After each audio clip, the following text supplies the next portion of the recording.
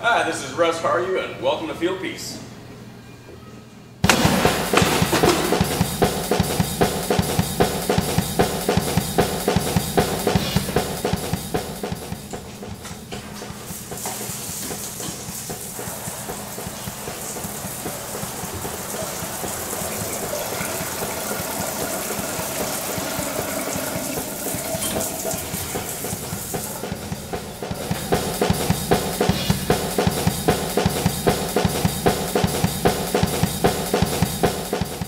This is Russ Hardy. Now we're going to recover some refrigerant with this recovery machine. You notice that the case did break on here. All this stuff is replaceable if that ever happens to you.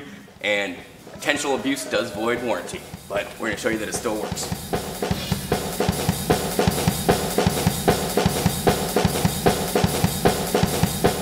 Now that we're all set up, I'm going to switch the single knob to recover, press start, and away we go. So we'll check back in on this one in just a few minutes when it's done doing its recovery.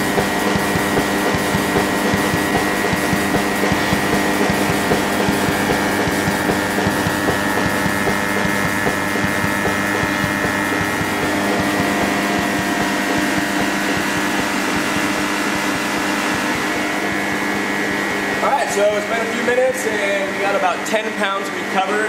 We started this at 32. It's at 42 now. I forgot to zero it out, so my bad.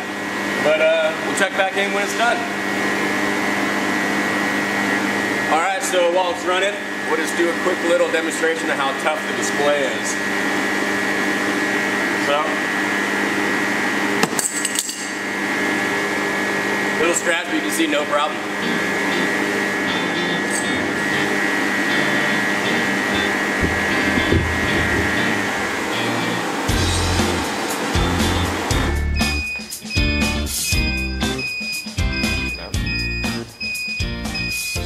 So that's the alarm going off. What happens is that once it hits 10 inches of mercury, it automatically cuts off. You can cancel that alarm.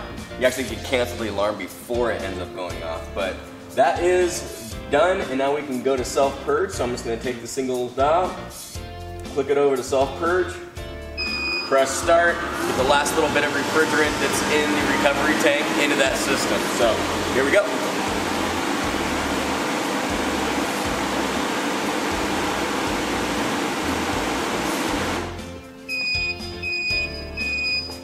And that means it's done and we are fully recovered and all the refrigerant is out of that system into this tank. You're ready to pull down a deep vacuum a vacuum pump and then put new refrigerant in. Thanks for watching.